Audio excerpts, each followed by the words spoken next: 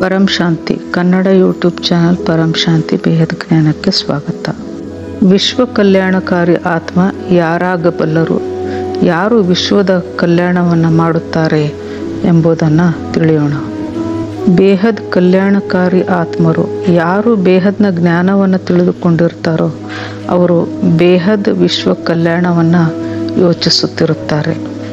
ಬೇಹದ್ನ ಆತ್ಮರು ಪರಮಾತ್ಮನೊಂದಿಗೆ ಸದಾ ಕನೆಕ್ಟ್ ಆಗಿರುತ್ತಾರೆ. ಇದರಿಂದ ಅವರಿಗೆ ಅವರ ಕಾರಣ ಶರೀರದಲ್ಲಿ ಪವರ್ ಬರುತ್ತಾ ಹೋಗುತ್ತದೆ. ಇದರಿಂದ ಅವರ ಕರ್ಮಗಳು ಯಾವುದೇ ವಿಕರ್ಮಗಳು ಏನೇ ಇರಲಿ ಎಲ್ಲವೂ ಭಸ್ಮವಾಗಿ ಬಿಡುತ್ತವೆ. ಆಗ ಆತ್ಮರಲ್ಲಿ ಕೇವಲ ವಿಶ್ವದ ಕಲ್ಯಾಣವಲ್ಲ, ಬೇಹದ್ ವಿಶ್ವದ ಸಂಪೂರ್ಣ ವಿಶಾಲ ವಿಶ್ವದ ಕಲ್ಯಾಣವನ್ನು ಮಾಡಬೇಕು ಎನ್ನುವಂತಹ ಒಂದು ಶ್ರೇಷ್ಠ ಭಾವನೆ ಮೂಡುತ್ತದೆ. ಎಲ್ಲಿಯವರೆಗೆ ಕರ್ಮಗಳ ಲೆಕ್ಕಾಚಾರ ಸಂಪೂರ್ಣವಾಗಿ ಭಸ್ಮವಾಗುವುದಿಲ್ಲವೋ ಅಲ್ಲಿಯವರೆಗೆ ಇಂತಹ ಭಾವನೆ ಬರುವುದಿಲ್ಲ. ಕಾರಣ ಶರೀರವು ಸಂಪೂರ್ಣ ಪವಿತ್ರವಾಗುವವರೆಗೆ ಮನಸ್ಸು ಪವಿತ್ರವಾಗುವುದಿಲ್ಲ.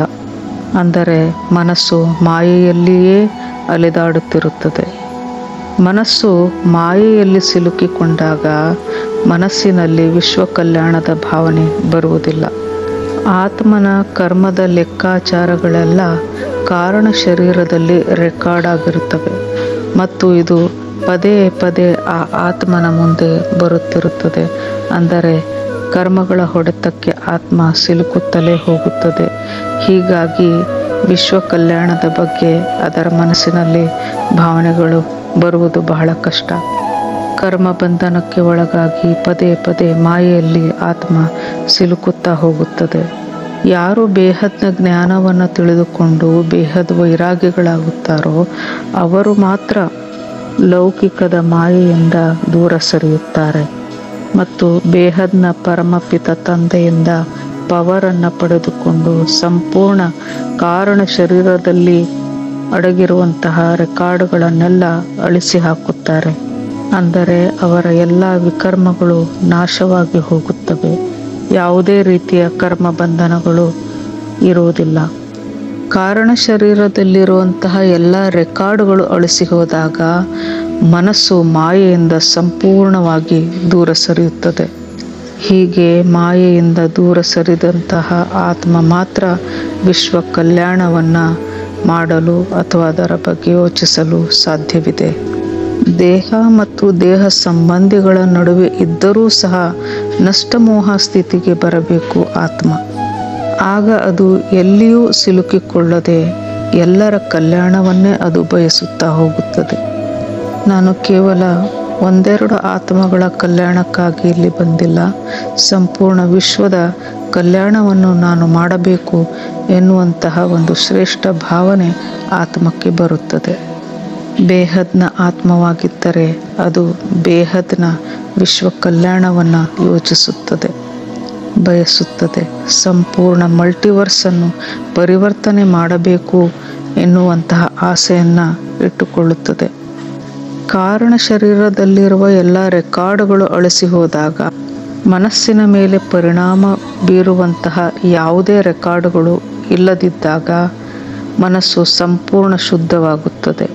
ಆಗ ಬೇಹದ್ನ ಪರಮ ಪಿತನಲ್ಲಿಯೇ ಧ್ಯಾನವನ್ನು ನೀಡುತ್ತದೆ ಆತ್ಮ ಮತ್ತು ಪರಮ ಪಿತನಲ್ಲಿ ಅಗಾಧವಾದ ಪ್ರೇಮ ಉಂಟಾಗುತ್ತದೆ. ಪ್ರೇಮ ಉಂಟಾದಾಗ ಪವರ್ ಬರುತ್ತದೆ ಎನ್ನುತ್ತಾರೆ ಬಾಪೂಜಿಯವರು. ಭಗವಂತನ ಮೇಲೆ ಪ್ರೀತಿ ಇಲ್ಲದಿದ್ದರೆ ಪವರ್ ಕೂಡ ಸಿಗುವುದಿಲ್ಲ. ಪಾಯಿಂಟ್ ಝೀರೋ ಝೀರೋ ಒನ್ನರಷ್ಟು ಕೂಡ ಯಾವುದೇ ತನ್ನ ದೇಹ ದೇಹ ಸಂಬಂಧಿಗಳಲ್ಲಿ ಆತ್ಮ ಮುಳುಗಬಾರದು. ಸಂಪೂರ್ಣ ತನ್ನ ಮನಸ್ಸನ್ನು ಭಗವಂತನಿಗೆ ಅರ್ಪಿಸಬೇಕು. ನೂರಕ್ಕೆ ನೂರು ಪಟ್ಟು ಸಂಪೂರ್ಣ ತನ್ನ ಮನಸ್ಸನ್ನು ಭಗವಂತನಿಗೆ ಕೊಡಬೇಕು. ಅದರಲ್ಲಿ ಸ್ವಲ್ಪವಾದರೂ ಲೀಕೇಜ್ ಆದರೆ ಪವರ್ ಬರಲಿಕ್ಕೆ ಸಾಧ್ಯವೇ ಇಲ್ಲ. ಮತ್ತು ಪವರ್ ಬರದಿದ್ದಾಗ ಕಾರಣ ಶರೀರ ಚಾರ್ಜ್ ಆಗುವುದಿಲ್ಲ. ಕಾರಣ ಶರೀರ ಚಾರ್ಜ್ ಆಗದಿದ್ದರೆ ಅದರಲ್ಲಿರುವಂತಹ ರೆಕಾರ್ಡುಗಳು ಅಳಿಸಿ ಹೋಗುವುದಿಲ್ಲ. ರೆಕಾರ್ಡ್ಗಳು ಅಳಿಸಿ ಹೋಗದಿದ್ದಾಗ ಮನಸ್ಸು ಮಾಯೆಯಲ್ಲಿಯೇ ಅಲಿಯುತ್ತಿರುತ್ತದೆ.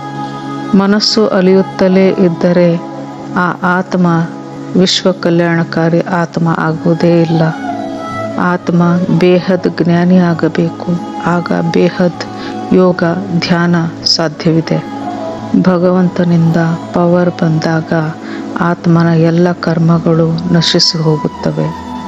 ಮತ್ತು ಮನಸ್ಸು ಸಂಪೂರ್ಣ ಹಗುರವಾಗುತ್ತದೆ. ಅಂದರೆ ಮನಸ್ಸು ಸತೋಪ್ರಧಾನ ಸ್ಥಿತಿಗೆ ಬರುತ್ತದೆ. ಆಗ ಆತ್ಮ ಸ್ವರೂಪದ ಅನುಭೂತಿಯಾಗುತ್ತದೆ. ಆಗ ವಿಶ್ವ ಕಲ್ಯಾಣದ ಶ್ರೇಷ್ಠ ಭಾವನೆ ಉಂಟಾಗಿ ಆತ್ಮವು ವಿಶ್ವ ಕಲ್ಯಾಣಕಾರಿ ಆತ್ಮವಾಗುತ್ತದೆ. ಪರಂ ಶಾಂತಿ ಬೇಹದ್ ಕಿ ಪರಂ ಶಾಂತಿ. ಪರಮ ಶಾಂತಿ ಸೋಚೋ Join us daily for live meditation, 10 p.m. to 11 p.m. on YouTube Live. Subscribe now. Website www.paramshanti.org. Email shanti.org. Like, share, subscribe. Join today.